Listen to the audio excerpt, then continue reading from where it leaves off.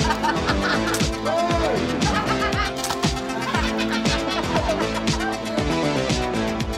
were working as a waitress and I